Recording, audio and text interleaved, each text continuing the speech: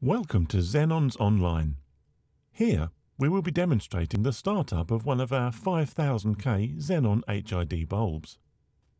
To begin, the bulb starts off quite dim and very colourful compared to the end result. This 5000K bulb will finish off being super bright white. This cycle takes 15 seconds to complete using a standard ballast. To find out more or purchase the products, please visit our website at www.xenonsonline.com or contact us through one of our social media channels.